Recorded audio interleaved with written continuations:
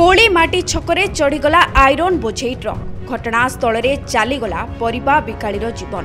ଏପରି ଘଟଣା ଘଟିଛି କେନ୍ଦୁଝର ଜିଲ୍ଲା ଆନନ୍ଦପୁରରେ। ଆନନ୍ଦପୁର କୋଡ଼ିଏ ନମ୍ବର ଜାତୀୟ ରାଜପଥର କୋଳିମାଟି ଛକଠାରେ ଏକ ଦଶ ଚକିଆ ଆଇରନ୍ ଟ୍ରକ୍ କୋଳିମାଟି ଗ୍ରାମର ଇନ୍ଦ୍ରମଣି ନାୟକ ନାମକ ଜଣେ ପରିବା ବେପାରୀଙ୍କ ଉପରେ ମାଡ଼ି ଯାଇଥିଲା ଯାହାଫଳରେ ଘଟଣାସ୍ଥଳରେ ଇନ୍ଦ୍ରମଣିଙ୍କ ମୃତ୍ୟୁ ଘଟିଥିଲା। ସ୍ଥାନୀୟ ଲୋକେ ଘଟଣାସ୍ଥଳରେ ଶବ ରଖି ରାସ୍ତାରୋକ କରିଥିଲେ ଯାହାଫଳରେ ଘଟଣାସ୍ଥଳରେ ଚାପା ଓ ଉତ୍ତେଜନା ଦେଖାଯାଇଥିଲା। ଘସିପୁରା ପୋଲିସର ହସ୍ତକ୍ଷେପ ପରେ ଉତ୍ତେଜନା ଥମିବା ପରେ ଶବ ବ୍ୟବଚ୍ଛେଦ ପାଇଁ ଆନନ୍ଦପୁର ଉପଖଣ୍ଡ ମେଡିକାଲକୁ ଅଣାଯାଇଛି। କେନ୍ଦୁଝରରୁ ସତ୍ୟବ୍ରତ ଜେନାଙ୍କ ରିପୋର୍ଟ ଡୁମାଣି ଟିଭି।